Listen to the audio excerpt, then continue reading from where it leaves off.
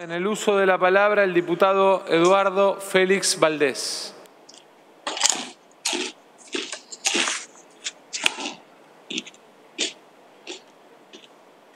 Gracias, señor presidente. La verdad que desde que empezó esta sesión, uno ha pasado por todos los estados de ánimo,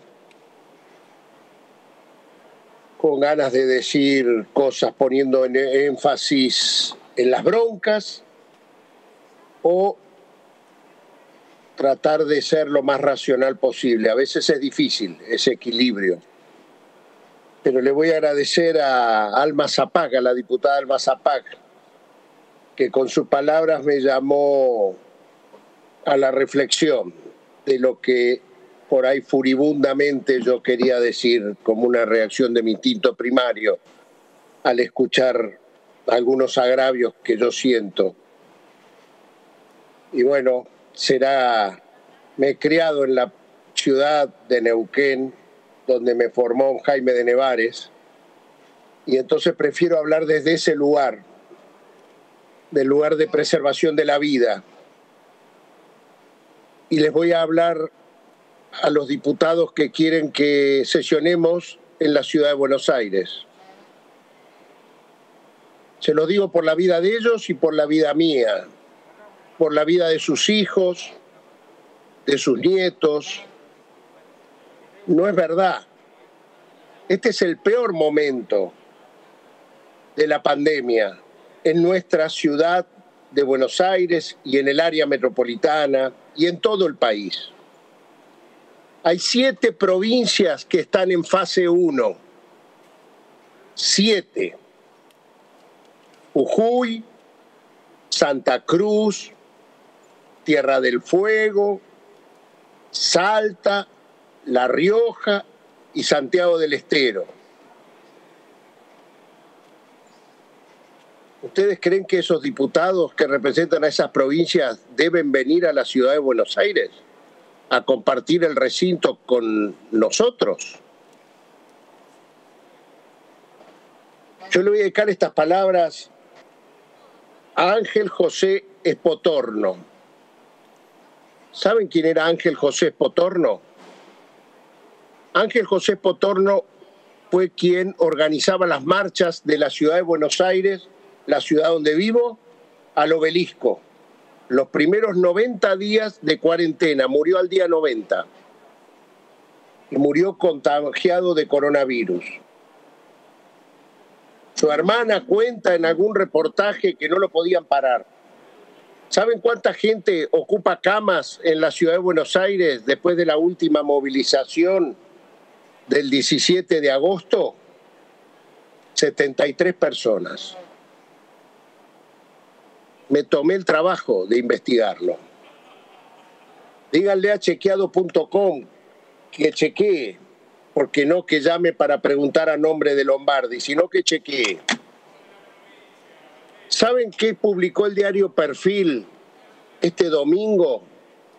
Que la ciudad de Buenos Aires, a ver si lo estoy poniendo acá, no sé si se ve bien, que la, que la ciudad, Cava triplica el promedio de infectados del país cada mil habitantes. Cava triplica el promedio de infectados del país cada mil habitantes. ¿Sabe cuántos, cuántos infectados tiene la ciudad autónoma de Buenos Aires cada mil habitantes? 27. ¿Sabe cuál es el promedio del país? 8. 8. La provincia de Buenos Aires, en total, con todo lo que tiene de infectado en el área metropolitana, cuando uno junta toda la población de la provincia de Buenos Aires, le da 7. En el distrito Ciudad de Buenos Aires tenemos 27 infectados. Yo digo para que veamos la magnitud del promedio de país que tiene 7 provincias en fase 1, en la Ciudad de Buenos Aires tenemos 27 infectados cada mil cuando el promedio es 8 cada mil de todo el país. El 19 de marzo, cuando se lanzó la cuarentena cerrada, que dio, que dio origen al invento de esa palabra infectadura, el 19 de marzo la ciudad de Buenos Aires y el área metropolitana teníamos 67 infectados. 67. Increíble. Y hoy tenemos 97 mil.